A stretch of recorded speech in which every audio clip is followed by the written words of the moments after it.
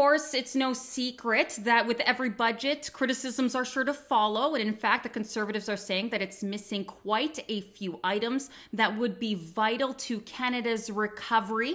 Uh, the Conservatives did uh, put a motion forward this morning to make some changes, hopefully. And here to talk more about this is our Conservative MP, Michael Chong, MP for Wellington Halton Hills. Thanks for joining me today. Great to be with you, Melissa. Okay, so let's get started. Um, first, I mentioned the motion. Can we talk about what uh, the amendment is and what changes you hope that the government will make to this budget that um, will appease you? Well, we're calling on the government to come forward with a real economic plan to create jobs.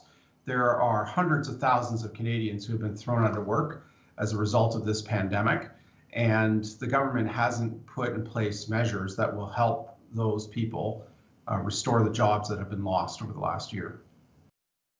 But they do mention some new spending in extending recovery efforts. Now, we are in the middle of a pandemic. How can the government do both?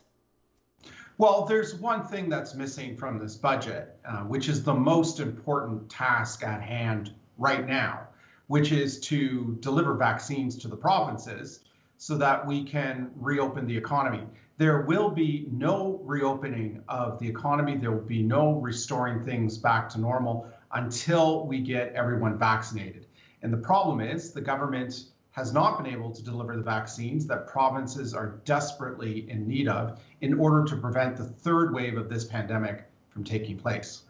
But in this budget too, we also have to plan for the future, right? So you have something like the childcare, uh, the universal childcare that they're trying to push forward, which inadvertently would put more people in the economy. You know that many women in our in Halton, Wellington, Halton Hills have had to quit their jobs. So isn't this a, a proactive approach to, uh, you know, re um, reinvigorating our economy? Shouldn't we be planning for that future? Well, we're we're supportive of measures to help uh, increased labor force participation, particularly for women that have been hard hit during this pandemic.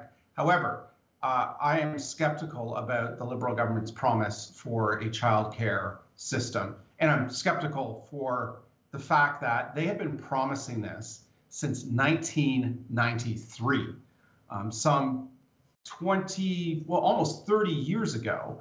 Uh, they've been making this commitment and they keep rolling it out. So I am I have a high degree of skepticism about whether or not they will deliver on this promise. The other reason why I'm skeptical is that childcare and early childhood education are a provincial responsibility.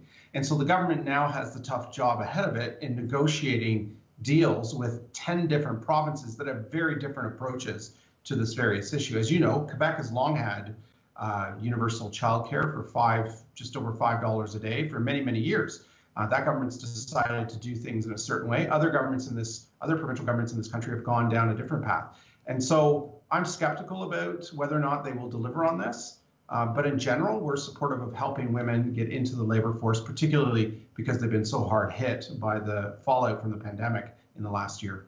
And I, I, mean, I guess you do have some experience in terms of relationships with our provinces. You were the Minister of Intergovernmental Affairs uh, in your time in the Harper government. So, I mean, is there, uh, what can you say that uh, I guess we need to do better um, federally with our relationship with the provinces, particularly ours? Well, I think I think when it comes to new programs like childcare, provinces have a great deal of skepticism um, because if we take a look at what's happened with uh, federal funding for healthcare, at one point it was 50 50 shared cost for public health care. But as the decades went on, provinces ended up shouldering an ever increasing portion of that cost. And so today, the federal government only funds about a third of provincial health care, um, and the provinces shoulder two thirds of it. So they are rightfully reluctant to enter into new agreements where in future years the federal government may pull back the funding, leaving the provinces on the hook to, to balance the books and to deliver the rest of the funding. Is there any indication that uh, your party will vote um, against this budget? I mean, if if any of the yeah. parties vote against it, there will be a, a, forced election. Can you talk about that a little bit? Well, unless unless the government accepts our amendment, uh, we will be vote. We are not in support of the budget, and we will be voting against the budget.